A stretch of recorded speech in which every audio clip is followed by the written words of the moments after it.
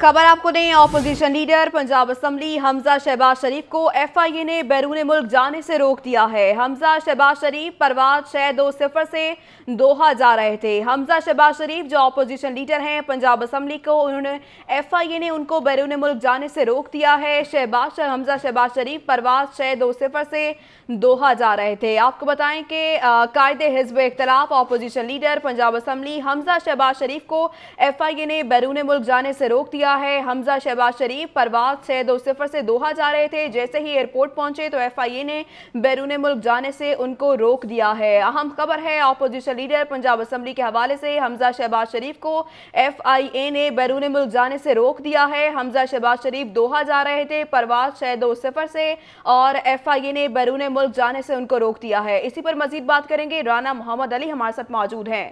رانا محمد علی، نام بھی اے C L میں نہیں ڈالا گیا تھا، پھر کیوں روکا گیا ایف آئی اے کی جانب سے۔ جی ابھی کچھ دیر قبل ہمیں اس بات کی کنفرمیشن ہوئی ہے ایف آئی اے ذرائع کی جانب سے کہ حمزہ شہباز شریف نے آج صبح قطر ایئرویز کی پرواز چھ دو صفر سے اٹمپٹ کی لاہور سے باہر دوہا جانے کے لیے، لیکن ان کو امیگریشن کے دوران جیسے ان کا پاسپورٹ سامنے آیا تو ان کو روک دیا گیا۔ اس حوالے سے ان کا سامان بھی لاہور ایئرپورٹ پہ پہنچ چکا تھا۔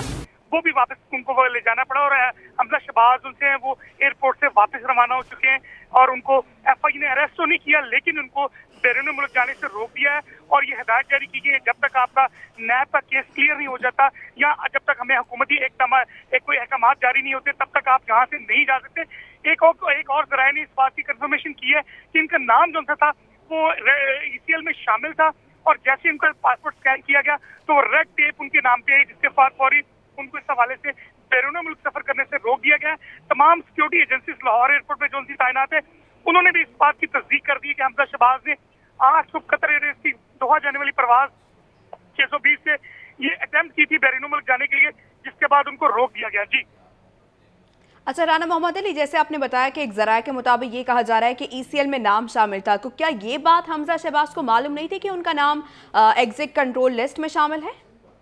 کی جو معلومات ہمیں ابھی تک ملی، اس کے مطابق تو یہی کہا جا رہا ہے کہ جو مسافر بیرون ملک سفر کرتا ہے، اگر اس کا نام ای سی ایل میں شامل ہو تو تبھی اسے آف لوڈ کیا جاتا ہے۔ حمدہ شباز کا نام ایک ذرائع کے مطابق یہ بھی کہا جا رہا ہے کہ وہ سی سی ایل لسٹ میں شامل تھا، جس کی بنا پہ ان کو روکا گیا ہے اور ان سے یہ بھی مکالمہ کیا گیا کہ انہوں نے ان کے جو نیب کے کیسز ہیں، جب تک ان کے وہ کیسز کلیئر نہیں ہوتے، تب تک وہ بیرون ملک نہیں جا سکتے۔ اس سے پہلے سلمان شباز کے حوالے سے بھی جو معلومات تھی، وہ بھی ہمیں دی گئی تھی کہ ان کو بیرون ملک جانے کی جو انہوں نے اٹمپٹ کی تھی، وہ تو روانہ ہو گئے تھے، وہ چلے بھی گئے تھے۔ لیکن اس کے فوری بعد ان ابھی حمزہ شباز نے موجودہ حالات کے مطابق جو اٹمپٹ کیے اس میں یہی کہا جا رہا ہے۔ ان کی جانب سے یہ کہا گیا تھا کہ میرے کیسز کے حوالے سے حکومت اور ہمارے وکلا جو ان سے ہیں وہ اس کیس کے حوالے سے پیش ہوں گے؟ جبکہ ایف آئی اے نے اسے ماننے سے انکار کر دیا۔ ایف آئی اے کے دونوں ٹھیک ہے رانا محمد علی اس حوالے سے آپ سے مزید بھی اپڈیٹس لیتے رہیں گے لیکن ابھی کے لیے بہت شکریہ آپ کا۔